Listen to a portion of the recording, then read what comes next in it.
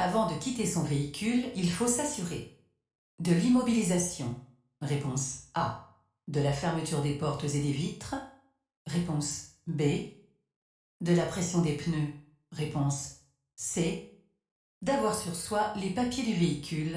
Réponse D.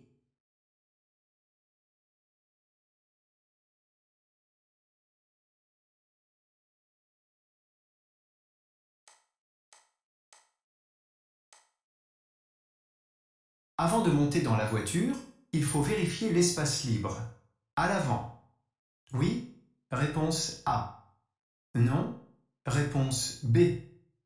À l'arrière.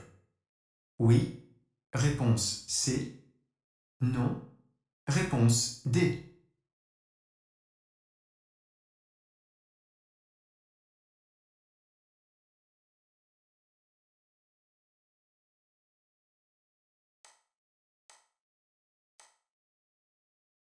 Pour effectuer une marche arrière, cette position de conduite est correcte. Réponse A. Incorrecte. Réponse B.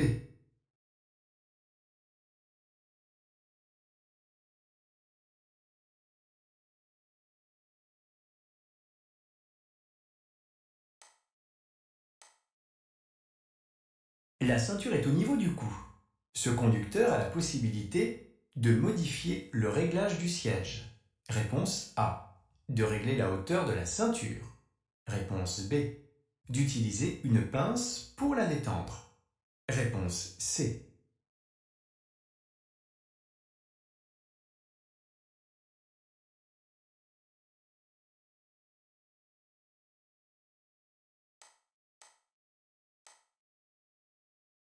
Avant d'ouvrir la portière, je regarde dans le rétroviseur et dans l'angle mort.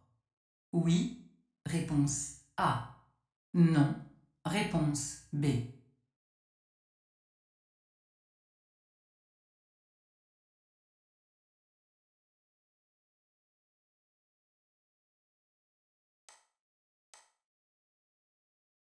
Le réglage correct du siège permet d'atteindre avec précision les commandes. Oui, réponse A. Non, réponse B. De ne pas fatiguer trop vite.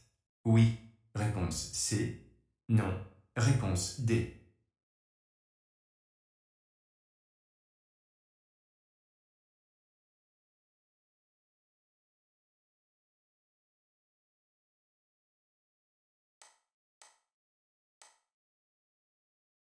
Cette position de conduite est correcte. Oui. Réponse A. Non. Réponse B. Elle permet d'agir rapidement. Oui. Réponse C. Non.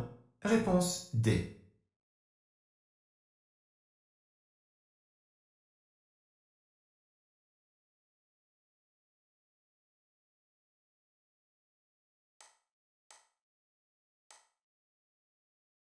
Pour ne pas être gênée lors des manœuvres, cette conductrice a retiré l'appui-tête. Elle a fait le bon choix. Oui. Réponse A. Non. Réponse B.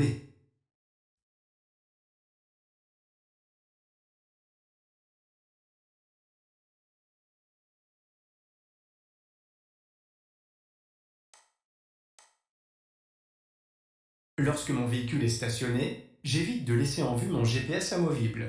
Oui, réponse A. Non, réponse B.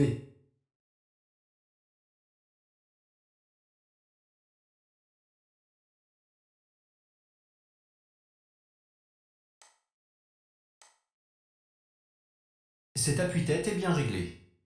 Oui, réponse A. Non, réponse B.